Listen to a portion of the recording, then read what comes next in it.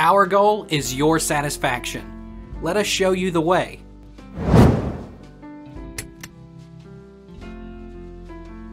How do I convert a JSON file to readable? If you need to convert a file containing JSON text to a readable format, you need to convert that to an object and implement toString method, assuming converting to Java object, to print or write to another file in a much readable format.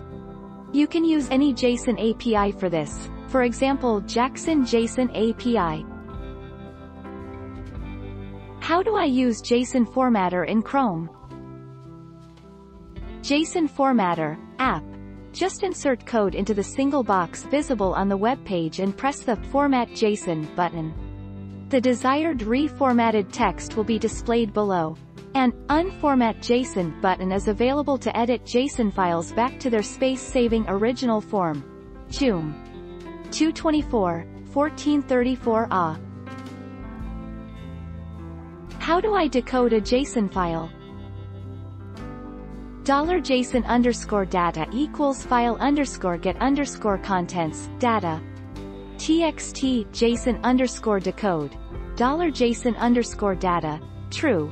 You do need to adjust your sample string to be valid JSON by adding quotes around strings, commas between objects and placing the objects inside a containing array, or object, Raj.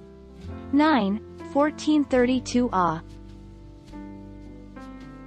How do I open a JSON file in Windows 10? JSON extension with a text editor. Taking this into account, the easiest way for Windows users to open a JSON file is to right-click on it, and then select Open With, from the drop-down menu. After that, choose Notepad in the submenu. You can use WordPad if your JSON file is over 100 kilobytes. How do I open JSON files in PDF? Just open the file with a reader, click the Print button, choose the virtual PDF printer and click Print. If you have a reader for the JSON file, and if the reader can print the file, then you can convert the file to a PDF. The free and easy-to-use PDF24 PDF printer can be downloaded from this page. Take our lead. Let's help you make your mark.